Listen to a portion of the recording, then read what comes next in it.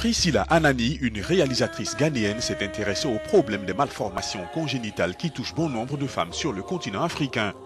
Elle a réalisé Children of the Mountain, un film qui en parle. Fondamentalement, c'est l'histoire d'une femme qui a des difficultés pour enfanter ainsi que d'autres problèmes de santé. Et tout le monde la tient pour responsable parce qu'elle porte en elle l'enfant. Elle va donc faire toute seule ce voyage pour essayer de trouver une issue pour cet enfant. Uh, Children of the Mountain a remporté le prix du meilleur récit au festival de Tribeca à New York. Il a reçu des avis favorables de la part des critiques de cinéma et les acteurs ont été félicités pour leur performance. Au cours de l'interview qu'elle a accordée à Africa News, Priscilla Anani, qui se décrit comme avocate des femmes, insiste sur la responsabilité des parents vis-à-vis -vis de leur progéniture. Children of the Mountain à travers mon film, je dis aux femmes que ce n'est pas leur faute si parfois elles ont des bébés qui ont des problèmes à la naissance.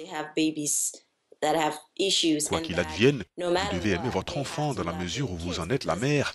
Aimer votre enfant, c'est votre responsabilité et vous êtes la première personne qui puisse le faire. Si le parent ne peut pas aimer son enfant, comment les autres personnes le feront-elles?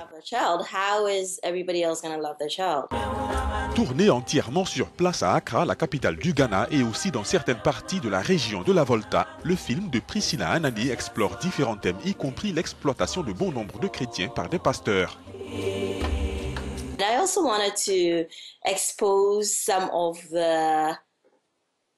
Je voulais aussi exposer certains des aspects négatifs de la société qui se produisent dans notre communauté.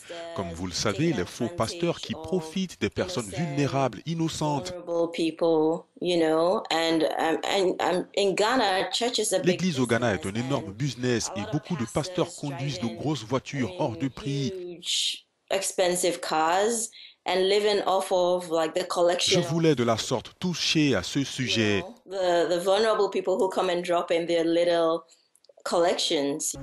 La cinéaste primée prévoit de mettre son savoir-faire au service de l'éducation du public afin de lutter contre les stigmatisations qui entourent les malformations congénitales. Children of the Mountain sera présenté dans plusieurs autres festivals.